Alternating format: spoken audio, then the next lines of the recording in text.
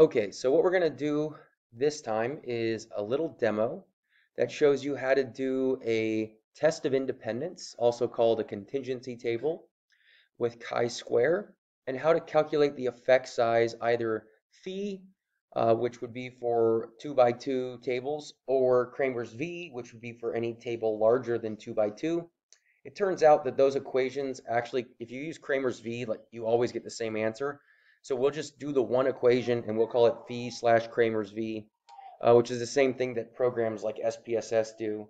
So this is one where there's not an automatic uh, option to do this. So we need to understand how the math works and just kind of go through some of the processes. Luckily, it's not that difficult.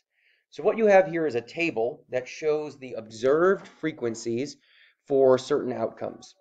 Now I have two variables, the type of vehicle and I, and sex.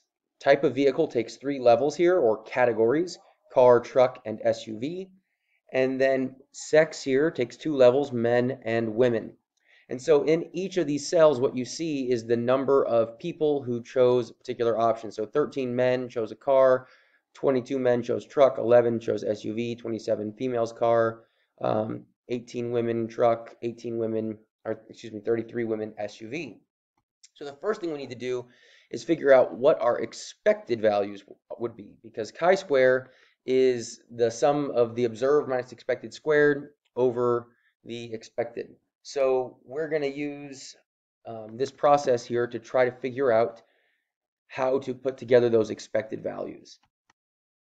To do this, the first thing we need to do is get uh, some column and row totals and then get the grand total for the table.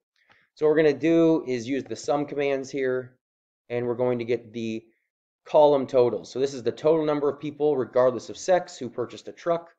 Once we've done that, we can grab and drag and get this for all of them. We're going to get the row total here, which is the total number of men, regardless of the vehicle they chose.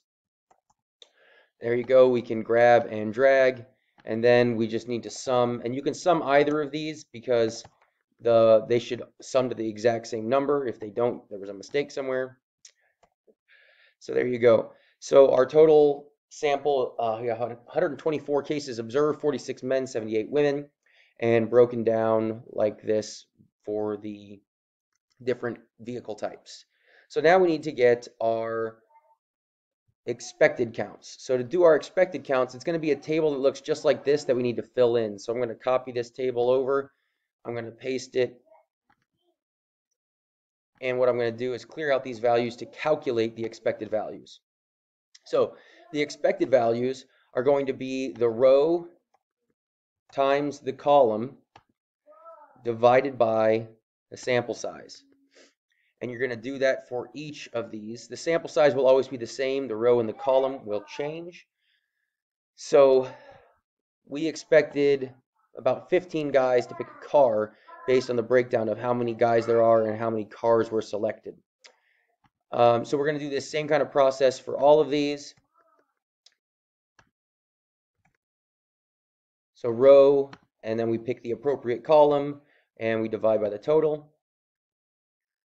And we pick appropriate row, divide appropriate column, and divide by the total. And when we sum these, a nice way to check and make sure you've done it correctly, you should get the exact same size in the row. So we should have assigned every one of the 46 men to some value here based on how they're expected to be broken up overall, right? So the 40, 40, 44 split is basically being applied here. So notice that these numbers are equal because that's what's expected here for the grand total. This one's a little higher because that's what's expected here. We'll do the same thing for the women, taking into account that there were more women.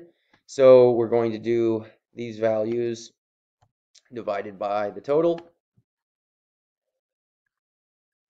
We're going to do these values, excuse me, these values divided by the total. And we're going to do these values divided by the total. When we sum across, we could have dragged down, but we'll just do this. We should get, oh, we made a, misselected something. Hold on, what did I misselect? Oh, see, I made the mistake right here. I did B4. This should be B5, and this should be Gotta watch what you select. This should be E4. E4, B5, there's my 78. Watch what you choose. And this is why it can be useful to make sure that you are getting the right values and not misclicking something like I just did there. So here you go. You've got, again, notice you expect an equal number of truck and car owners because that's the way that it's broken down in total and a few more SUVs. So if men and women have the same car preferences, right? You taking into account you had fewer men than women in this table, then the breakdown should be the same where men and women both pick cars and trucks at this rate, right? So there's a lower number here, but only because there are fewer men, but the rate is the same. So now we can also double check ourselves. Um, what we should get is when we sum down that all of these totals should match our previous table. So there you go. So now this is our expected counts, and these are our observed counts. So the way that we get uh, a chi-square value is simply summing all of the observed minus expected. So that can sound like kind of a long process here. Um, what you're going to do is you're going to take the sum and you're going to take observed minus expected squared divided by expected right? And we're going to do this for every one of those terms. So now we're going to add to that. Uh,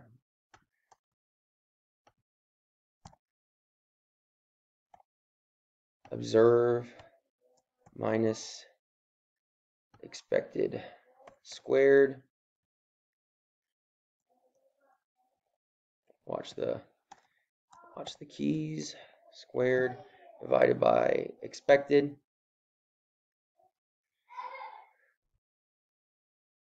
plus observed minus expected squared divided by expected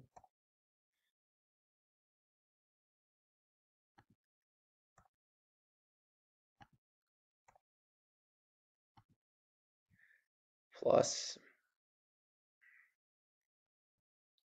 observed minus expected squared divided by expected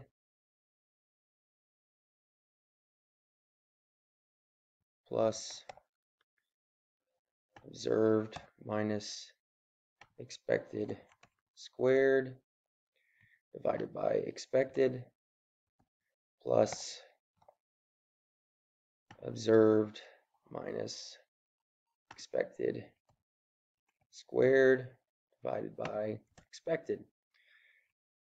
So when we sum all of these values, mistype something here. What did I mistype? I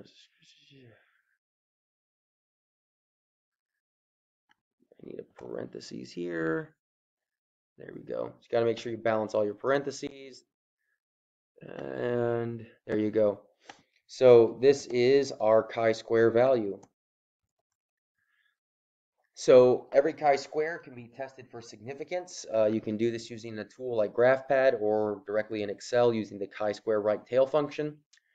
So if we were to look at this, we would have to take into account the degrees of freedom and the way we calculate DF. So the degrees of freedom for a chi-square are the categories, so columns by rows, minus 1. So 3 minus 1 is 2. 1 minus 2 minus 1 is 1. So we end up with 2 degrees of freedom for this table. So then we can get the p-value for this chi-square if we use chi square dot dist and we can use the right tail function. We get the chi-square with the degree of freedom and we get a p-value of 0.01 which would be statistically significant. And so there we've calculated out all of these values. Now the last thing to do would be to get an effect size for this, which we can get phi um, Cramer's V. And phi or Cramer's V, we can use one equation to get both of these things. It is the square root of the chi-square value divided by, and then we're going to take the sample size and we're going to multiply it by the smaller of the DF terms, which the smaller of the DF terms here is 1, right? And when you do this, this will get you the right answer for either phi or Cramer's V. Because notice, if you have a 2 by 2 table, Your book will tell you phi is just divide by n without that extra df term.